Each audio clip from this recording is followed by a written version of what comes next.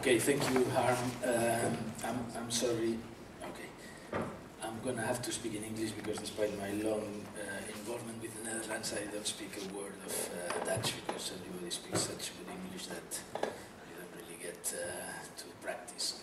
Uh, the, the talk that I'm going to do here uh, is something that I, ha I, have been doing both in practice and uh, in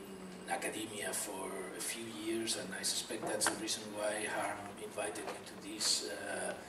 uh, because it, it is a project that has to do with uh, politics. Um,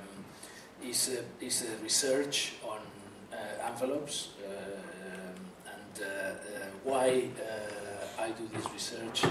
has, I think, a, a kind of almost biographical, generational reason because I come from a generation of architects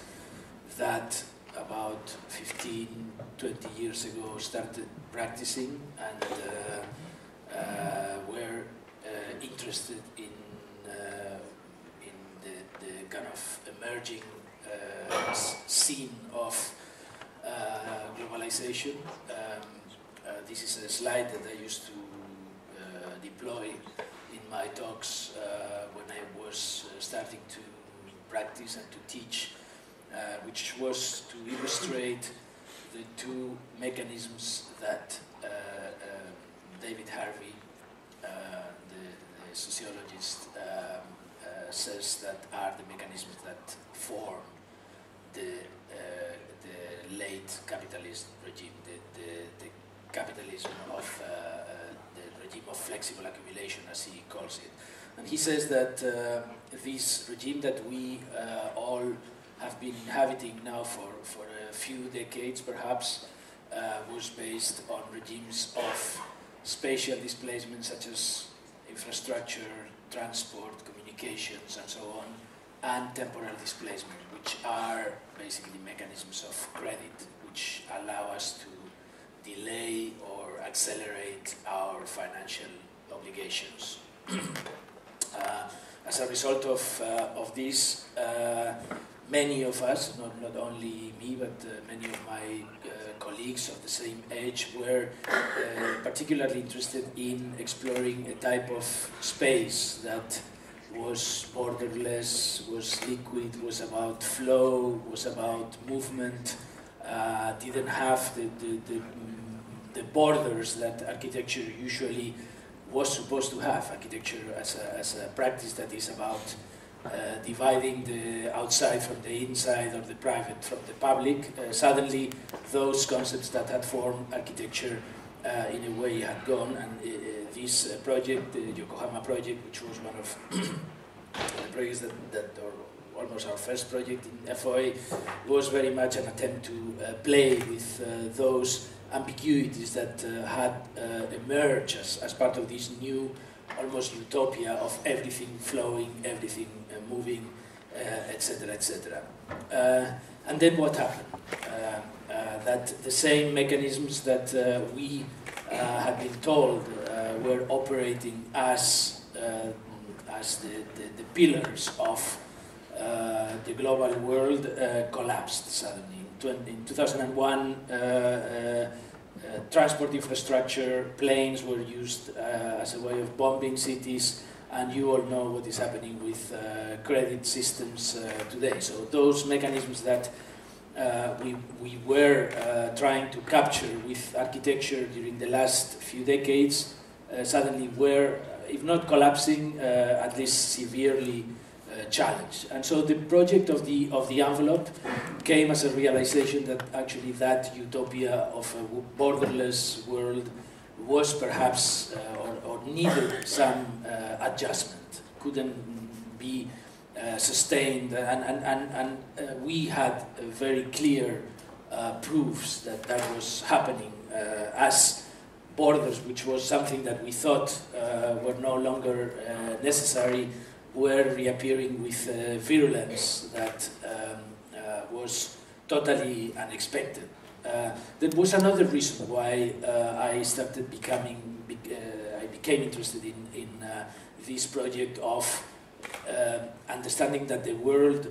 the contemporary world is not about borderlessness, but about a systematic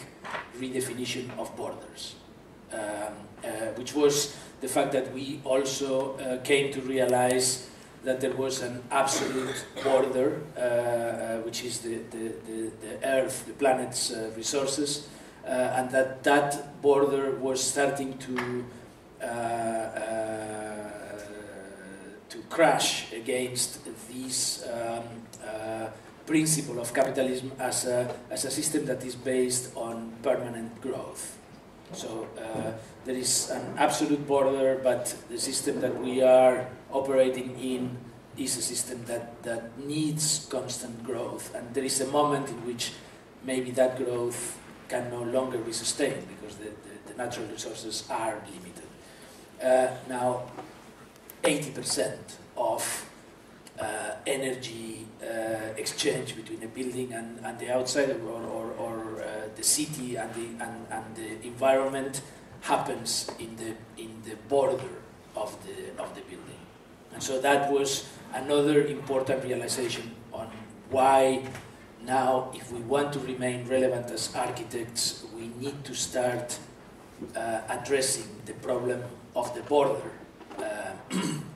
the problem of the border as, a, as, a, as the central uh, uh problem of, uh, of uh, the world to,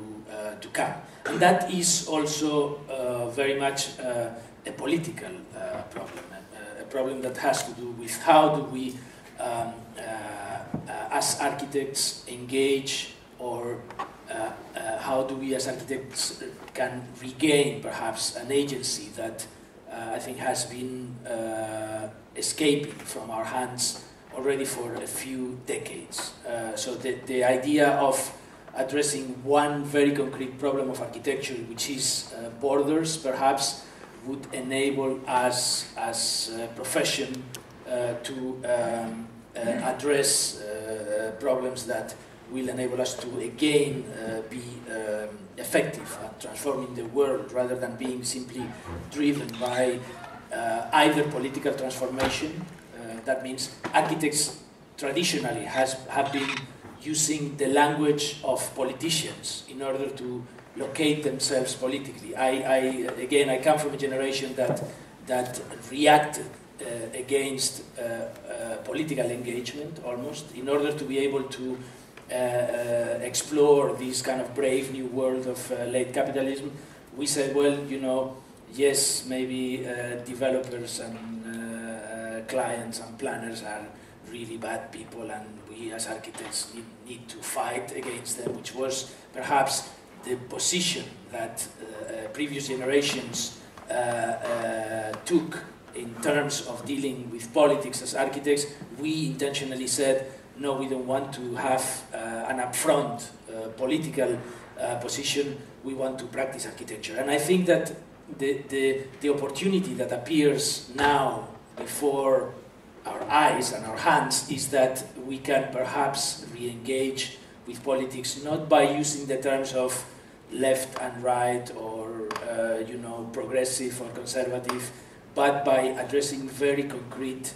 uh, uh, very concrete um, uh, spatial and material problems. We, we see that every day in, in politics. Electorates today are no longer faithful to uh, party politics. They tend to vote uh, in respect to very concrete matters, whether a highway is going through a certain place, whether uh, there is an urban uh, planning operation that is happening in a, in a city. And people do not vote uh, right or left depending on, on their, their traditional allegiance, but they vote for the person or the people or the team that they believe that is taking the right uh, attitude to solve these specific problems. That's, that's why I believe that, that in that uh, new uh, concreteness of the political world that, that is dictated by, by the, by the uh, swing electorates that we, that we see every day uh, taking more and more importance uh, are just an opportunity for architects to, to become engaged in politics from our own side. And, and so the project of the envelope, in a way, was an attempt to start talking about architecture um, uh, in, a, in, in, in, in such a, a, way that we could talk about politics without necessarily being talking about right or left and, and, things like that, but talking about the specific problems of architecture. And the envelope, um, the, the, the, whole uh, proposition of the envelope was uh,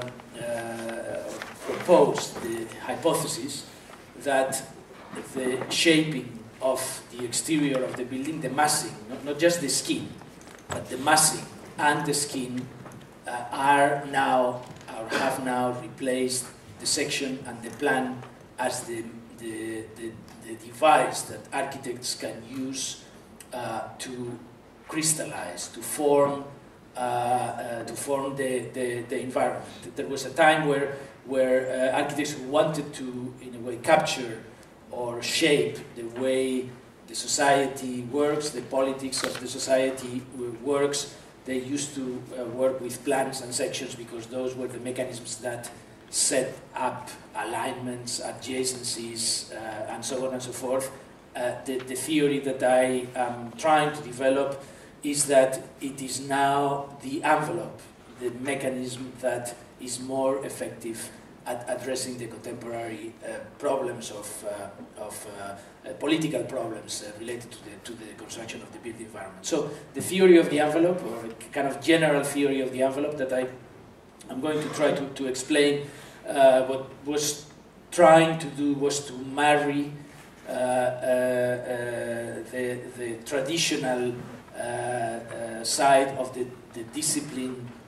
of architecture as, as a kind of language, as a kind of compositional device, as a kind of expression of the building with another set of parameters that have, have to do with environmental performance of, uh, of, uh, of the building. The, the, those two types of knowledge have already been existing for, uh, for some time in the, in the field of architecture, but I don't think that they have been ever brought together into, into a more comprehensive form of the, of the discipline. And so the proposal uh, that I am going to make, and I'm going to use perhaps a few projects uh, from my own practice, not so much as examples, but that, uh, as indexes of uh, perhaps potentials, is that uh, these, uh, the, the opportunities, or let's say the capacities, or the affordances that envelopes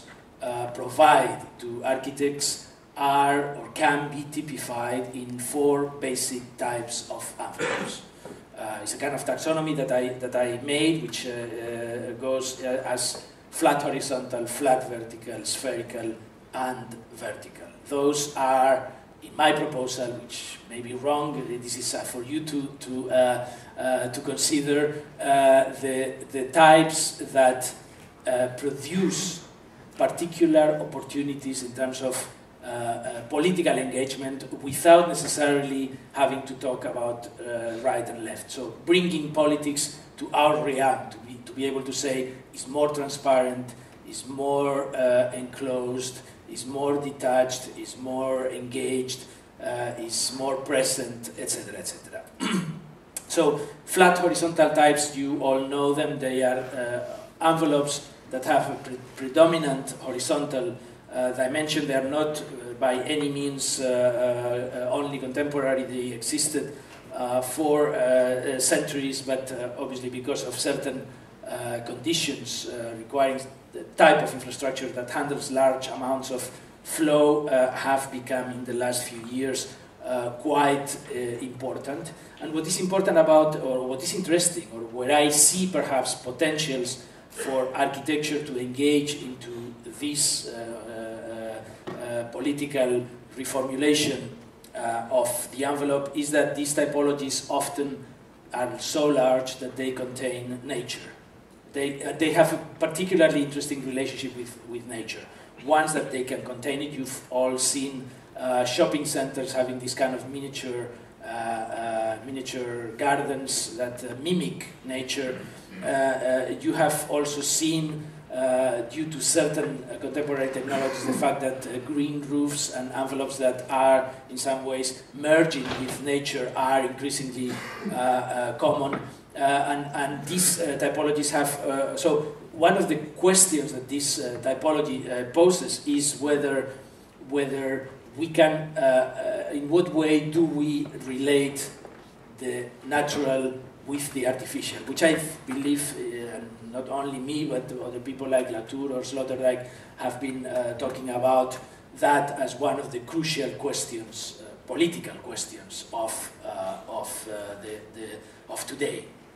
So whether nature is left outside, whether uh, these uh, vast uh, surfaces planted can become perhaps new grounds is something that obviously is in the air. Many architects are uh, dealing with this. The other interesting question about this typology is that it's so large that actually has almost no uh, concern for the horizontal border because it's actually neither climatically nor functionally relevant to the functioning of these uh, new uh, organizations. And architects basically have nothing to play with and end up uh, pretending that they are doing architecture.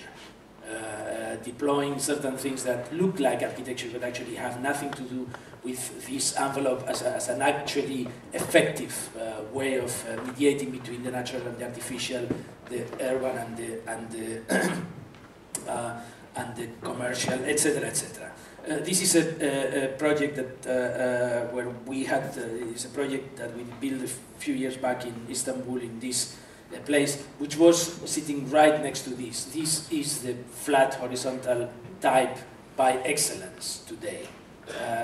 Uh, uh, abstract uh, thing deployed, flattening the ground, having nothing to do with the surroundings, having an environment that is totally controlled artificially, daylit and ventilated and heated artificially. That is basically the, the paradigm of the, the, the uh, flat horizontal, and I think the missed opportunity, the, the bad politics of the flat horizontal uh, uh, envelope are all. Uh, um, so we are basically next to, to that, and you can see mm, what uh, uh, the section of uh, IKEA looks like and the section of our, our building does, which is basically uh, to break that uh, uh, envelope, to try to turn that vast surface into a new ground that is no longer historical ground, a ground that is, that is like the land, which is obviously a very politically charged uh, world, uh, word is a, is a ground that has been artificially uh, manipulated and that turns this type of commercial facilities. And I think it's important that we, we look at commercial uh, projects as also opportunities to do politics, because uh, uh perhaps previous generation would say, no, but you don't want to get involved in this. This is actually bad. This is meant for profit, etc., etc. There's no, no, nothing good that ca uh, can come uh, out of engaging in these kind of projects. And I think the, the, the theory that I'm trying to uh, construct has to do with how to make these projects perhaps more engaged with, with the environment, how to ventilate, how to daylight, how to use this uh, ventilation and, and daylighting of the building uh, as a way of forming a landscape that can be uh, enjoyed by the people and, and can, in a way, destabilize the, the, the ground. Second project in this category is a project we are doing now. It is a kind of perverse project because uh, this is Birmingham New Street uh, Station, Central Station in Birmingham is being refurbished, but we don't get to refurbish it. It is a big engineering group that refurbishes it, and we are given the commission of simply giving it a new face, wrapping it, and making it uh, representative. But representative of what? Because, because we cannot even touch the, the, the, the envelope uh, because inside there is a shopping center. So, uh, uh, so what do we do? Uh, and so the idea that we came up with, Birmingham is a city that is a little bit perhaps like some cities in, in the Netherlands. It's a city of transport, a city where people come and go all the time. And, and so we thought that maybe since we couldn't give depth, and, and this is very important of the project of the envelope, the envelope is not about the making of the surface of the building, which is something that has been also being explored uh, uh, uh, intensely in the, in the field in the last uh, few decades, the,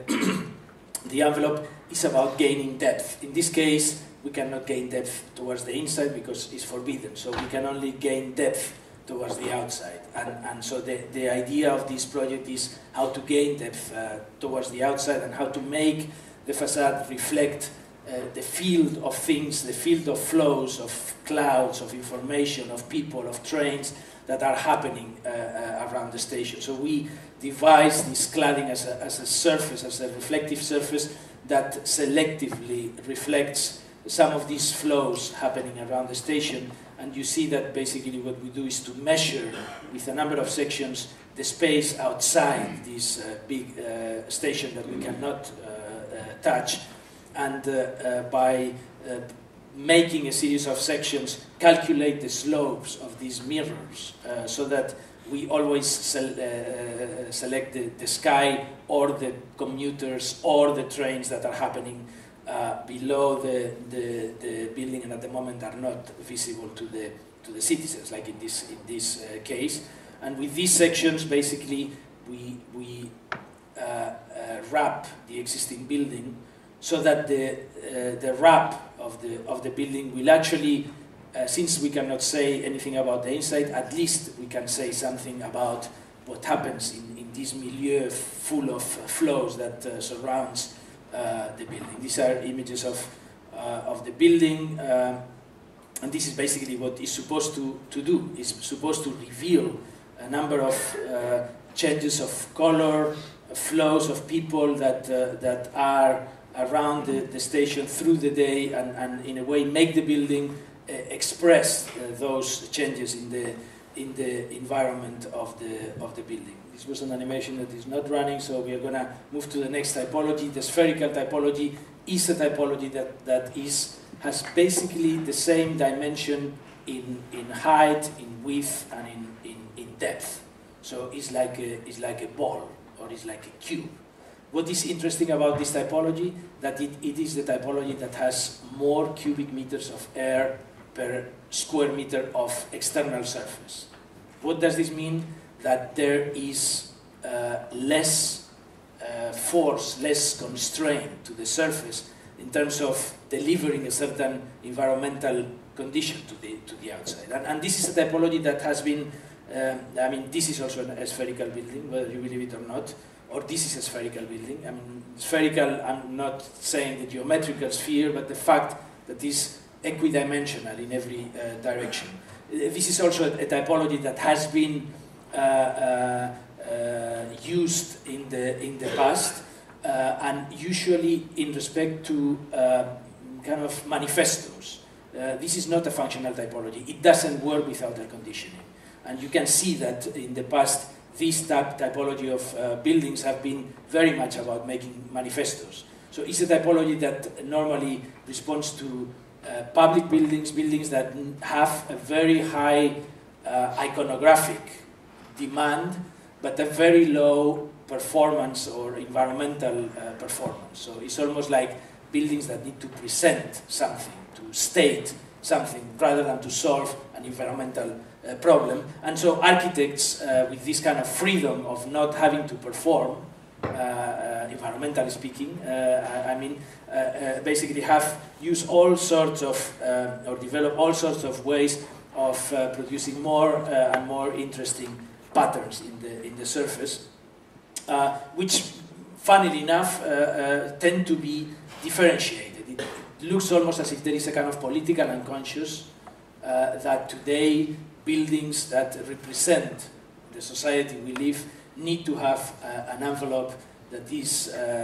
differentiated, that is um, you know, I mean, this is a kind of uh, amazing case. Uh, uh, China, the Chinese government commissions a number of foreign architects to do large buildings in Beijing, and they all end up in some sort of homogeneous pattern that is differentiated, that is saying we are no longer uh, the Mao suit, we are able still to do very large infrastructure, very large projects, but uh, we are catering for differences.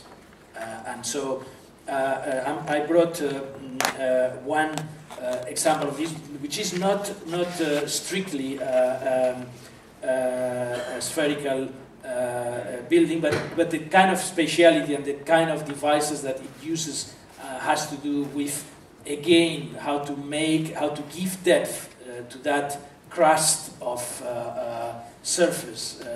that, that, that usually used to be associated to, to skins, to envelopes. The envelope is not about making more interesting patterns, it's about trying to gain depth, either inside or outside or both ways. Uh, this is, a, again, a commercial uh, project that we finished a few uh, years back for a department store in, in Leicester, um, where we did the projects, but actually, as you all know, uh, uh, uh,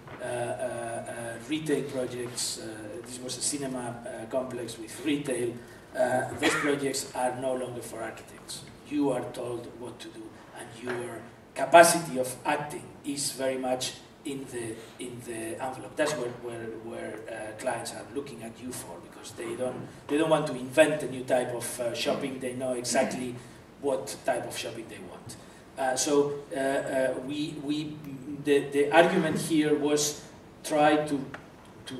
collect in that envelope something that had to do again with the kind of larger culture of Leicester as an industrial city that had to do with the production of fabrics, uh, uh, the, the, the, the, tenant of the, of the building is John Lewis, which has this kind of history of uh, hosiery, etc., etc. So all these things we're trying to embed into the into the skin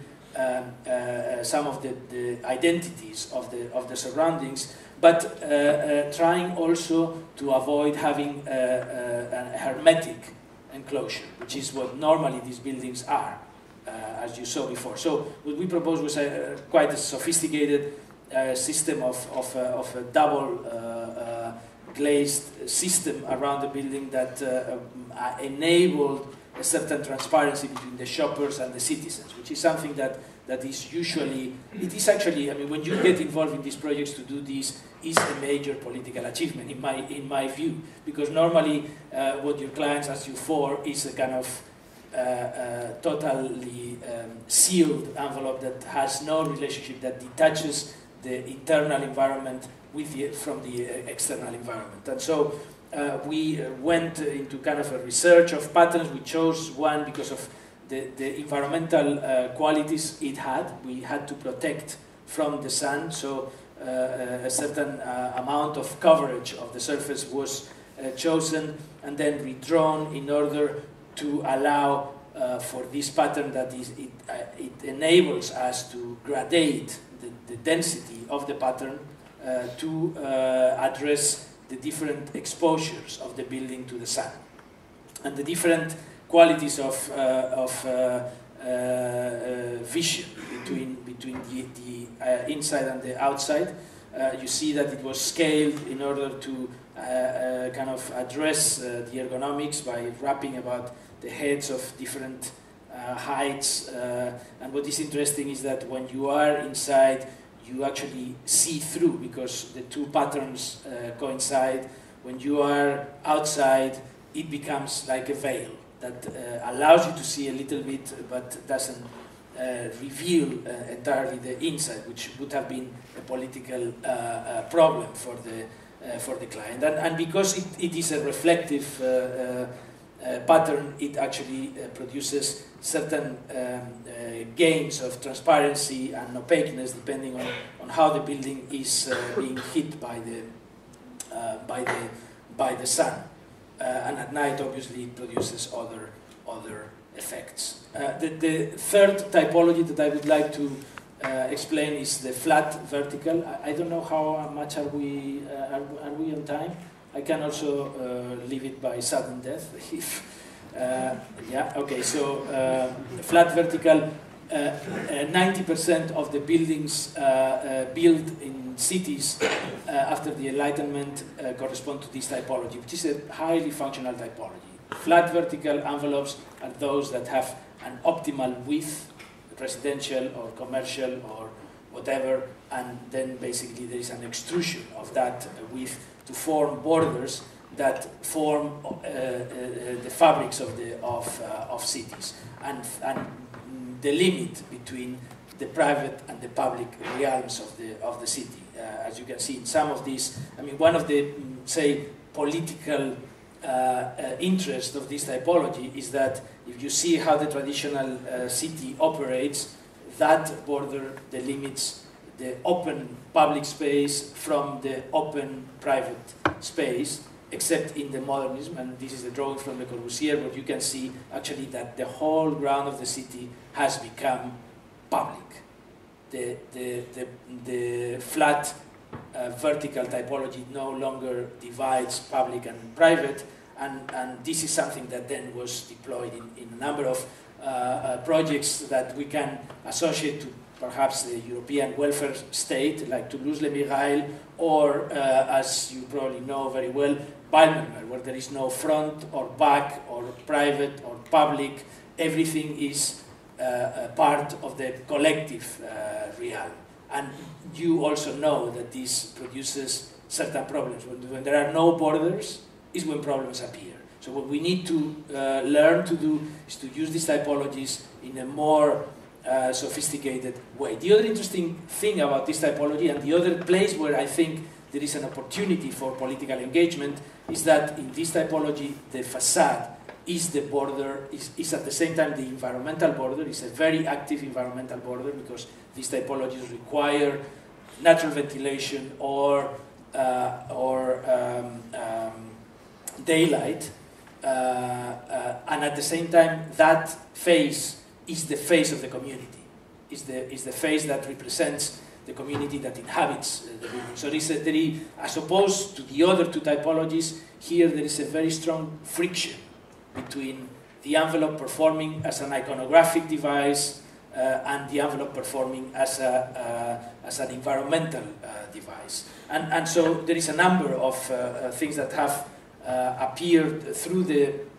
the years, the envelope as a series of cells uh, uh, attached to each other, the envelope as a screen that doesn't really reveal what happens, but so, some sort of almost like a construction system. Uh, other more modern, more contemporary ones that uh, perhaps try to explore the possibility of the envelope becoming a, a device to represent an, an integrating uh, open society and uh, so the, this is, this is uh, uh, one of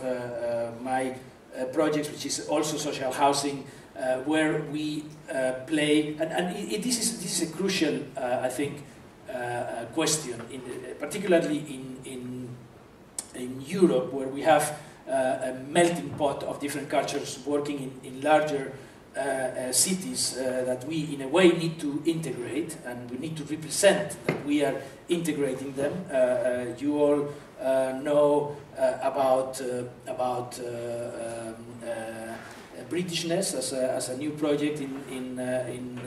in the United Kingdom, where uh, people uh, who are immigrants are asked to uh, become more British, to learn English, to understand British traditions, etc., etc. That as a kind of departure from the idea of the multicultural society that has been part of the, of the policies of the British government since the 70s, and probably also uh, this case is very similar in the Netherlands or in France or in many other European countries. So this problem of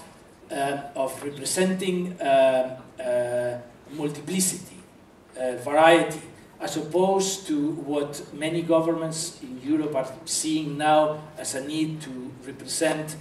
on the contrary, represent society as a, as a, as a, as a uh, connective tissue, as a problem of sameness or uh, homogeneity. To a degree, you need a certain binding uh, um, binding uh, structure that forms uh, the, the, the, contemporary society is not enough by representing society as a, as a kind of uh, diverse uh, field. You need to also start creating, and that is one of the problems that has been appearing in France with the, with the kind of banning of, uh, of uh,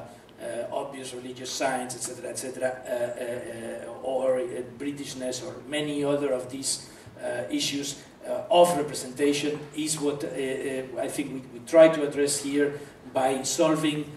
the problem of the, the envelope of the building as an environmental device that controls views and, and uh, insulation and so on and so forth, uh, uh,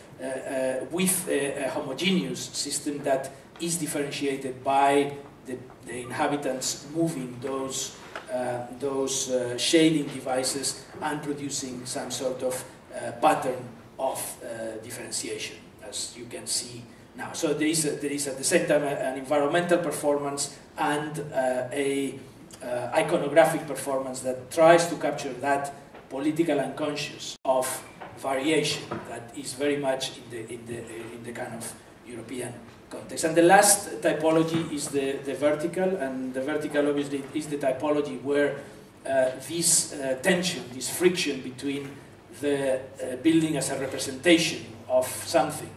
uh, and the building as, a, as an enabler of uh, uh, an environmental performance, or in this case, a performance of achieving a certain amount of, of density is highest, is the, the, where the, the tension is uh, stronger. There are buildings uh, out there that actually represent whole political uh, uh regimes and at the same time need to perform as, uh, as, as, buildings. I mean, this is a, this is a typology that now has been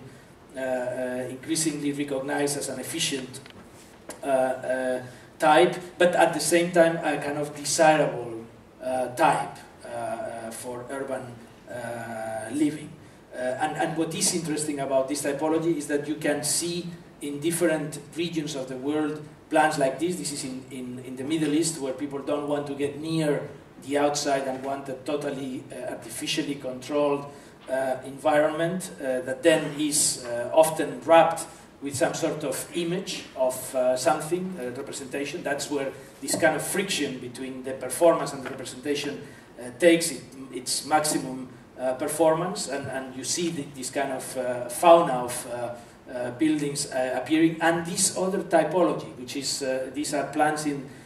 residential buildings in, in Hong Kong, where you see this incredibly complex corrugation of the surface that is aimed to provide daylight and ventilation to every single room in the building. And, and so it produces uh, these type of images that have nothing to do with some sort of representation, but a kind of pure emergence of form due to, perform to environmental uh, performance. So that friction in this typology is enormous. I think that there are, uh, as opposed to the, the, the uh, conventional understanding of uh, high-rise buildings, there are many uh, issues that we can uh, use in order to